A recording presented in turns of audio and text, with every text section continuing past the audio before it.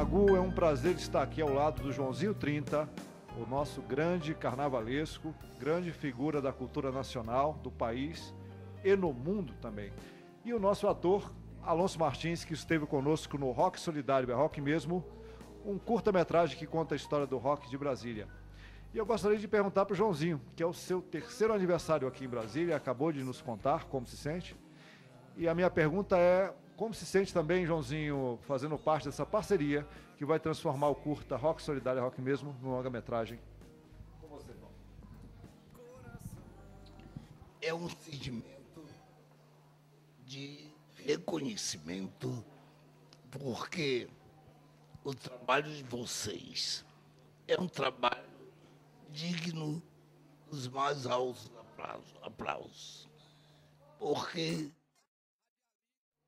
o trabalho que vocês vão fazer de transformar esse curta num, num longo filme, você vai nos dar um grande presente.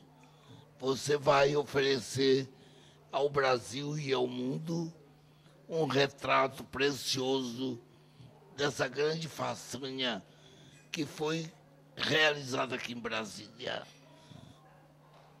O que é essa realização?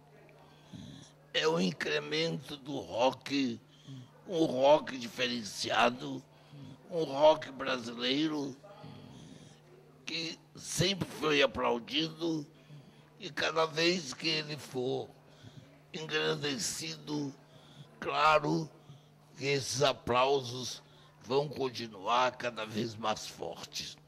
Portanto, nada mais do que aplaudir, dar os parabéns para você e esperar agora o grande filme. Boa noite. Boa noite, Joãozinho. Que maravilha. Obrigado pela entrevista. E obrigado pela parceria, porque eu só, só queria completar, Magu, que a ideia do longa-metragem saiu daqui, na casa do Ricardo Marques, ex-secretário de Cultura de Brasília, muito aplaudido lá na exibição do Curta, fantástico. E essa ideia saiu, o Joãozinho teve a ideia, a brilhante ideia, teve um insight e aí virou curta e virou compromisso. Nós vamos executar sim. Obrigado, Magu. Obrigado, Joãozinho.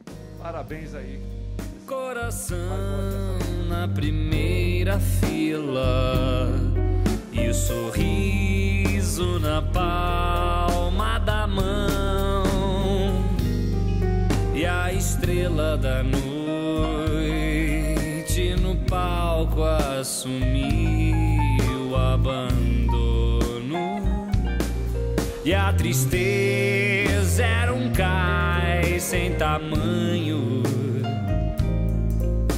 Certo,